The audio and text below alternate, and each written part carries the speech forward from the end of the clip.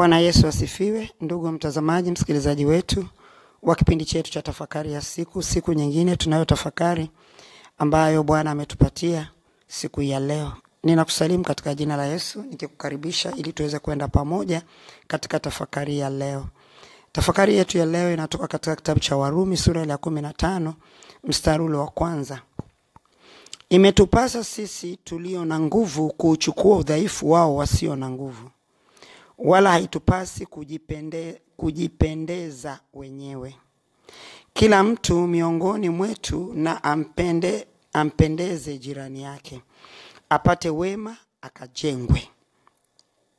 Bwana Yesu asifiwe.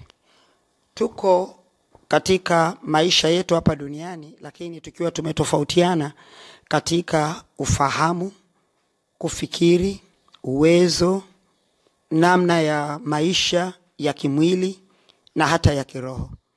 Hayo yote yanapotofautiana, ndipo yanapoleta sasa ama kujenga matabaka, kwamba unakuta mtu huyu na huyu wanatofautiana kwa sababu ufahamu wa huyu na huyu ni tofauti. Kwa hiyo anachokielewa huyu na anachokielewa huyu ni vitu viwili tofauti. Hivyo basi, hiyo inakuja kuleta shida kwenye swala la kufikia aidha mwafaka wa kukubaliana kwa sababu ya jambo fulani ama kitu fulani ambacho aidha kilitakiwa kutekelezwa ama kadhalika na kadhalika. Kwa hiyo tunaona ni jinsi gani ambavyo kunakuwa na nini shimo, yaani kunakuwa na hali ambayo imekuwa haipendezi, imekuwa ni hali isiyopendeza kwa sababu kuna hapo ndipo panapokuja kujenga ama kuleta tofauti za watu. Tofauti za watu zinapojengwa ndipo zinapokuja kuzalisha sasa kutokuelewana. Kutokuelewana kunakuja kuzalisha mtafaruku. Kutokuelewana kunazalisha mtafaruku. Sasa inapofika hatua ya mtafaruku, ndio nakuta sasa watu wanaanza kutengana. Kuna watu wanaanza kutengana, na ule utengano ukitokea, watu wanaanza kushutumiana na kusemana na kuambiana visivyo. Hii yote ni kwa sababu kuna kitu kiko hapo ambacho ni cha kawaida mno, lakini hakikutambulika. Na tumekuwa na tofauti nyingi sana, tumekuwa na tofauti za kutofautiana ambavyo inasababisha watu wameharibu kazi, watu wameharibi, wameharibiana kwa kuvunjiana heshima na kadhalika na kadhalika, lakini hili jambo limekaa katika hali ya kawaida.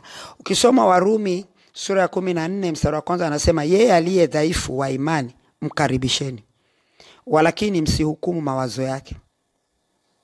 Unaona sasa, na hapo unaona katika hali hii ambayo tunayojifunza tunafika mahali pa kuanza kuhukumiana, maana mtafaruku sasa unapoingiza hayo mambo mengine inaleta kuhukumiana,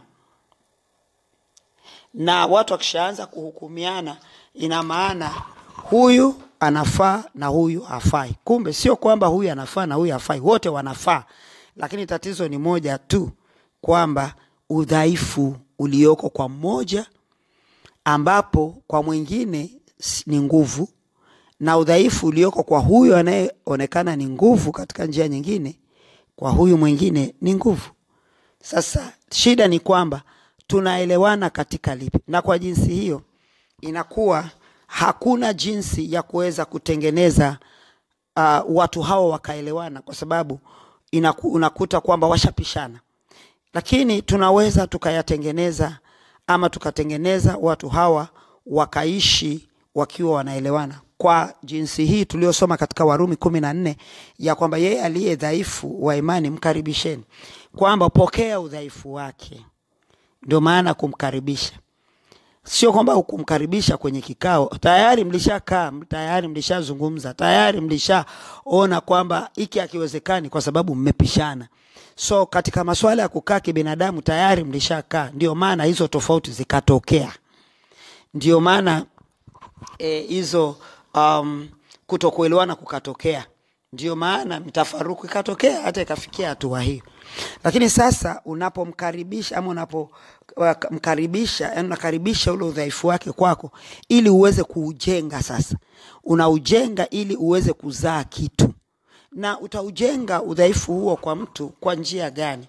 Unaujenga udhaifu kwa mtu kwa njia ya ya kuchukua ule udhaifu wake na kuubadilisha kuufanya nguvu. Unauchukua udhaifu wake na kuubadilisha na kuufanya nguvu. Unaufanyaje kuwa nguvu? Unaangalia katika yale mliokuwa mnatofautiana ukaangalia ni eneo lipi ambalo limeenda sawa huyu linaweza akalibeba then akapewa hilo. Atakapolibeba hilo katika ile hali yake ya udhaifu atakuwa mwenye nguvu katika hilo. Na akishakuwa mwenye nguvu katika hilo mtaenda akishaweza kuona ana nguvu katika hilo ndio nguvu itajengeka sasa. Ama kama ni imani itajengeka kuweza kumfikisha katika hatua nyingine. Kwa hiyo utakuta mtu huyu anaanza kusaidika.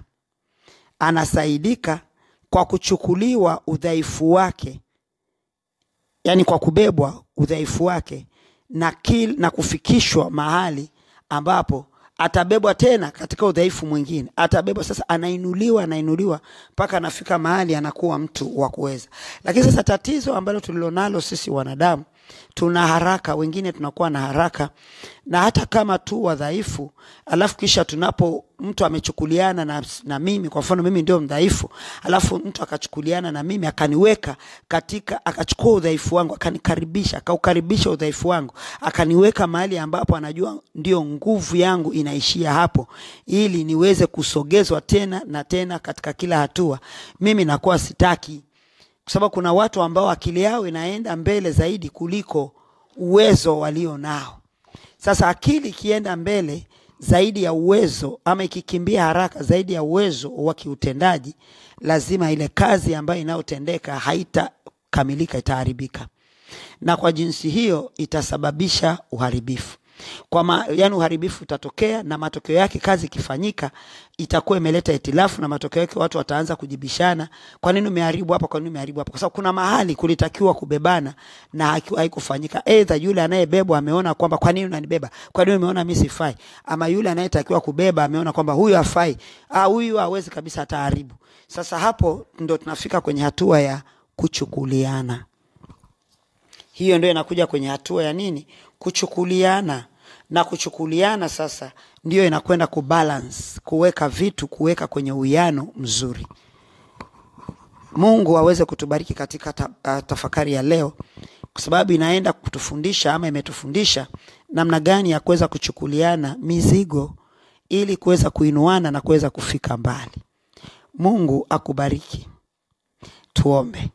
Najua kuna mmoja ambaye aliona hivyo na kuna mmoja hata aliondoka mahali ambapo ni pazuri alipokuwa anawekewa na Mungu kufika, lakini akaharibu kwa sababu hakutaka kungojea, hakutaka kubebwa, aliona anaweza kwenda na matokeo yake akaondoka kwenye mstari ule ambao wa kile ambacho Mungu alikuwa amekusudia kufanya. So Mungu anatupenda na anatuwazia yaliyo mema siku zote, na sisi tunatakiwa pia tuweze kujua kama mimi ni mdhaifu katika eneo, ni ukubali udhaifu wangu ili niweze kutiwa nguvu na kuweza kuinuliwa, ili niweze kufika na kuweza kuanza kufika mahali pa kuanza kutenda, ili niweze sasa kufikishwa mahali nilipokuwa nimekusudiwa na Mungu. Mungu akubariki.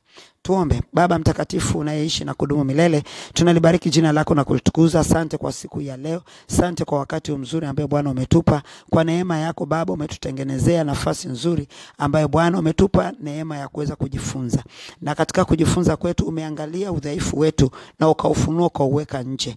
Kwa yule mwenye nguvu, kumbe kwake kulikuwa na udhaifu, na yule mwenye udhaifu, kumbe kwake kulikuwa na nguvu, lakini tukashindwa kubalance. Leo hii Baba umetupa siri hii, nasi twaiweka wakfu sasa mikononi mwako kwa kuomba rehema na msamaha katika ujinga tuliotembea nao, tukiomba Baba ukatusamehe na ukatupe neema ya kutembea katika maarifa haya ambayo uliotujengea siku ya leo, na kwa utukufu wako Baba tuweze kufika, kila mmoja akainuliwe kama ulivyokusudia, na tuweze kufika mahali ulikokusudia tufike. Kwa utukufu wako twajiweka wakfu mikononi mwako, ni katika jina la Yesu Kristo nimeomba na kushukuru, amen. Mungu atubariki.